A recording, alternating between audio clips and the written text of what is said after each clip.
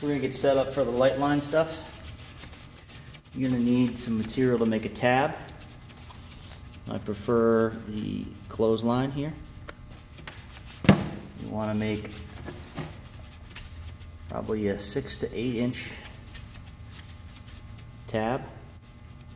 You want a good solid knot in the end, and you're just going to take it and loop it through the same ring that the leash goes on.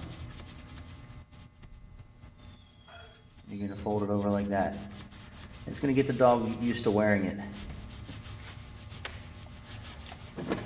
So what I like to use for the light line, it's an eighth of an inch. It's pretty thin. There's 40 feet here. That's more than enough for me. I think the one I'm using is down to like 20 feet. So you're gonna tie another, uh, it's an overhand knot in the end with a little loop right there. And then about 18 inches down, you're gonna tie another knot. All right, so you just fold it at the 18 inches and tie a knot so that you have a loop. And then when we go out to work the dog, what I'll usually do is stick this through the end of the tab like so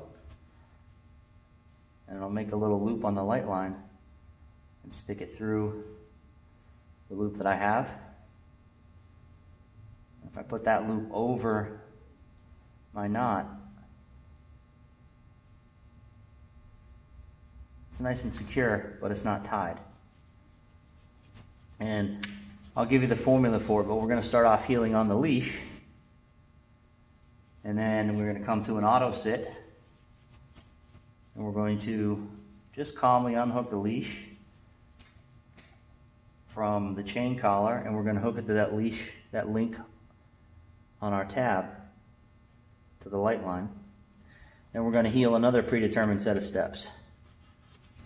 And then eventually the next step will be we will still hold the leash and we will heel the predetermined steps not attached to the dog, the dog is just dragging the light line. And then we go back to the collar.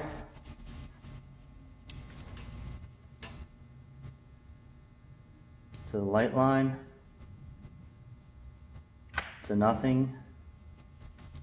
To the collar.